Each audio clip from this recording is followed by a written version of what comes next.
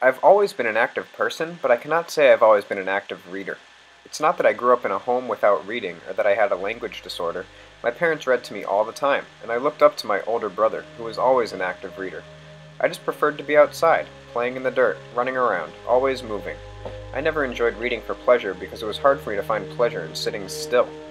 I remember many times when I was younger struggling to focus reading. I would get fidgety, and my mind would wander. I remember trying to read in third grade, but I gazed out the window at the playground instead, longing to be outside playing with my friends instead of sitting down and reading. In third grade, I scored below grade level in reading on standardized tests and proceeded to see a reading teacher for a few years. My parents worked really hard with me, helping me read. I really liked art, so I worked hard on book report projects. These projects helped me comprehend stories better. I was also motivated to do well and learn, so I participated in the local library summer reading lists.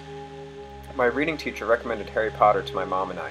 It was a difficult read for me at the time, so my teacher recommended getting cassette tapes with the story read aloud. I tried listening to the tapes, and it really helped me.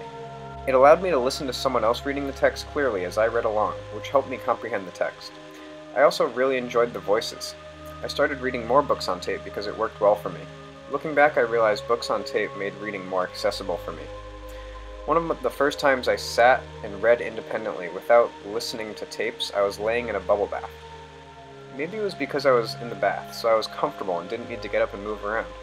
Or maybe it was because I was reading a newly discovered favorite author, Roald Dahl. Or maybe it was because I was reading a collection of short stories that didn't take much time to read.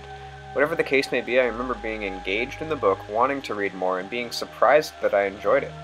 I also remember reading James and the Giant Peach, a book that is still one of my favorites. I'm an animal lover and I loved how the critters in the stories were personified. One of the short stories from the book I was reading in the bath involved an exciting adventure which sparked a curiosity in adventure books. I proceeded to read Hatchet, a book that is still one of my favorites. I remember putting myself in the main character's shoes and getting totally immersed in the adventure. I was on the edge of my seat, reading through the suspenseful scenes, imagining what I would do if I was there. I even had dreams about being in the book.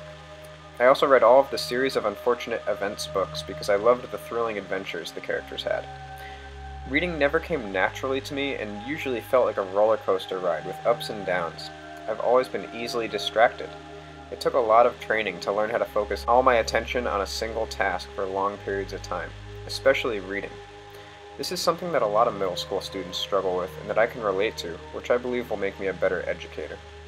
With the help of supportive parents, the local library, a reading teacher suggesting books on tape, motivation, and the discovery of some great books that genuinely interested me, I became a lover of reading.